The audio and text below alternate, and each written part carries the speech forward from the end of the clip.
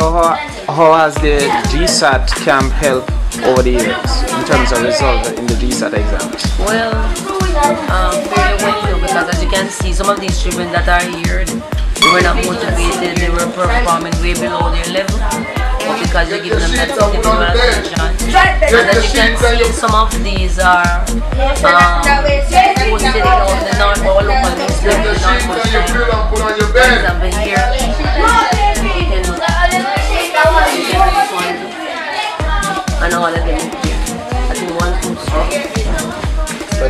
Mr. Green, and um, my purpose here at the camp is to make sure they're safe, the other at the camp, and also fit in in the way I can.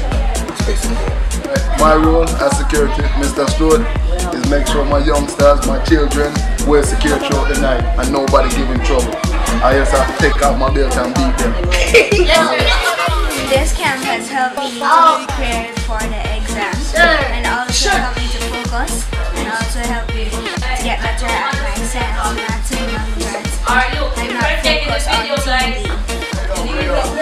This um, finish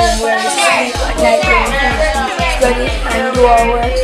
So in the night when we finish do our work, go and have a and sleep. Hi!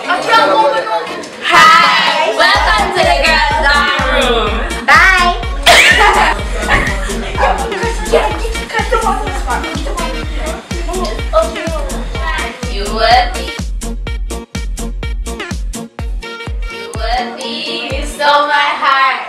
And I, will victim. I let you see the parts of me that weren't all that pretty. But every touch fix them. Now you